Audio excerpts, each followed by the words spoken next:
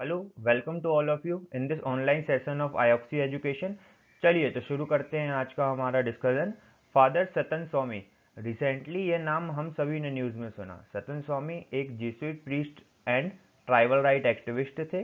तबीयत खराब होने के चलते एंड हाईकोर्ट के इंटरवेंशन के बाद वह 30 मई 2021 से ही नवी मुंबई के एक प्राइवेट हॉस्पिटल में एडमिट थे. 30 मई को ही उनकी कोरोना रिपोर्ट पॉजिटिव भी आई. जिसके कारण परेशानी और बढ़ी। तीन जुलाई के करीब सुबह साढ़े चार बजे उन्हें कार्डिक अरेस्ट आया। सरल शब्दों में इसका मतलब होता है जब अचानक हृदय काम करना बंद कर दे, जिसके बाद से ही वह वेंटिलेटर में थे। पाँच जुलाई को दोपहर में करीब डेढ़ बजे उनकी डेथ हो गई। डेथ की वजह बताई गई लंग्स में इन्फेक्शन, और यह एक पोस्ट कोविड इफ़ेक्ट भी है। सो कौन है सतन स्वामी? क्या काम करते थे? क्यों इन्हें अरेस्ट किया गया? एनआईए ने क्या चार्जशीट फ़ाइल की? ये सभी चीज़ें हम समझेंगे।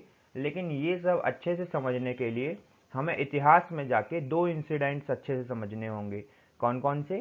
First third Anglo Maratha war and second battle of Koregaon Bhima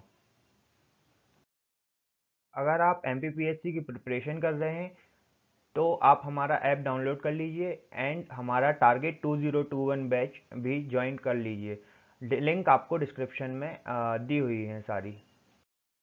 history पढ़ने से पहले एक बात हमें हमेशा हमारे दिमाग में होना चाहिए कि कल्चरल वे में इंडिया हमेशा से एक नेशन रहा है। अगर हम पॉलिटिकल बाउंड्री की बात करें तो वो थ्रू आउट हिस्ट्री चेंज होती रही है।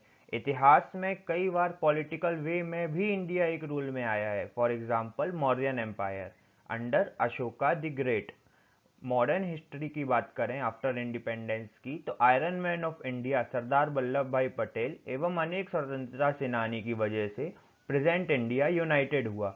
हम रीजनल हिस्ट्री पढ़ते हैं और उसमें प्राउड भी फील करते हैं। बट जो हमारी प्रेजेंट आइडेंटिटी है, वह सिर्फ़ एक है, जो कि क्या है?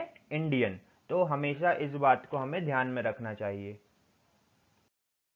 Anglo Maratha war. और अंगल मराठा युद्ध। जैसे जैसे मुगल एम्पायर डिक्लाइन होता जा रहा था वैसे वैसे मराठा की पावर बढ़ती जा रही थी।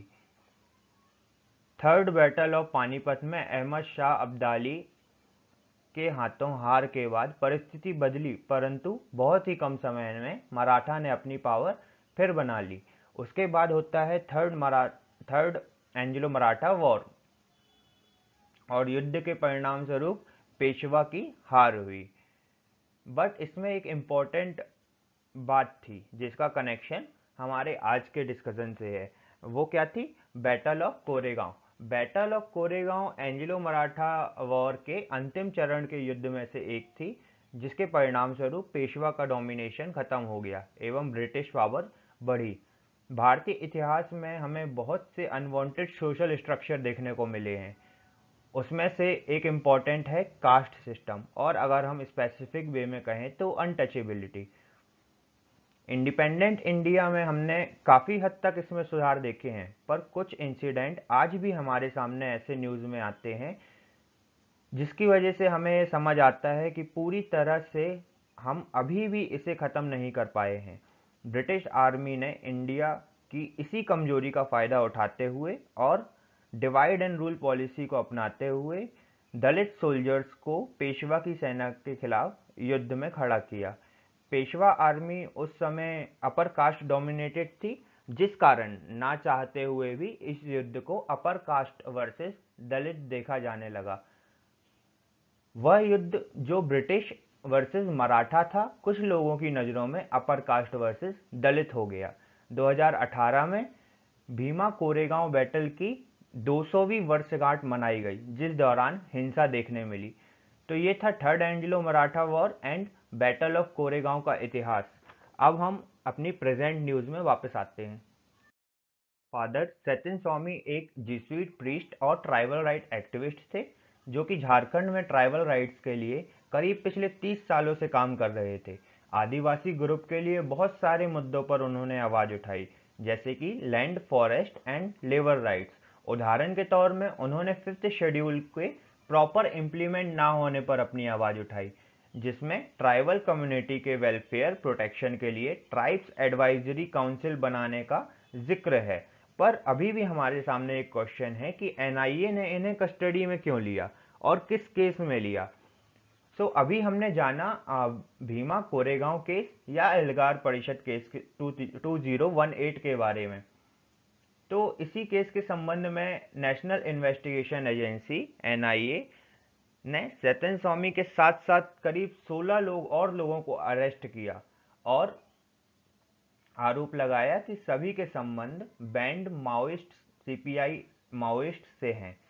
सत्यन स्वामी के घर की तलाशी ली गई और एनआईए ने कहा कि सत्यन स्वामी माओइस्ट कैडर में थे एंड एक्टिवली इन्वॉल्व थे एंड इन्हें माओइस्ट से फंडिंग भी मिलती थी। ये सभी एनआईए के लगाए हुए आरोप थे। सत्यन स्वामी ने अपनी सफ़ाई में कहा कि जो एलिगेशन उन पर लगाए जा रहे हैं, वो निराधार हैं। एंड जिस कंप्यूटर के बेसिस में एनआईए ये सारी बातें कर रहा है, उस कंप्यूटर में ये डिटेल्स प्लांट किए गए हैं और उससे इनका कोई संबंध नहीं है। सचिन स्वामी ने यह भी कहा कि वो कभी भीमा कोरेगांव में थे ही नहीं। सत्यन स्वामी की डेथ के बाद बहुत से ट्वीट्स किए गए सोशल मीडिया में, जिसमें से कि हमारे एंट्री के लिए एक जो इम्पोर्टेंट ट्वीट था, वो यूनाइटेड नेशन की बॉडी ह्यूमन राइट्स बॉडी की तरफ़ से था, जिसे बाद में मिनिस्ट्री ऑफ़ एक्सटर्नल अफेयर्स ने जवाब भी दिया। मिनिस्ट्री ऑफ़ एक्सटर्नल अफेयर्स ने अपनी जवाब में कहा कि Indian authorities act against violation of law not against legitimate exercise of rights तो ये थी पूरी डिटेल्स सत्यन स्वामी की death and Bhima Koregaon case and third Anglo Maratha war से रिलेटेड एंड जल्द ही मिलते हैं हमारे नेक्स्ट टॉपिक के साथ।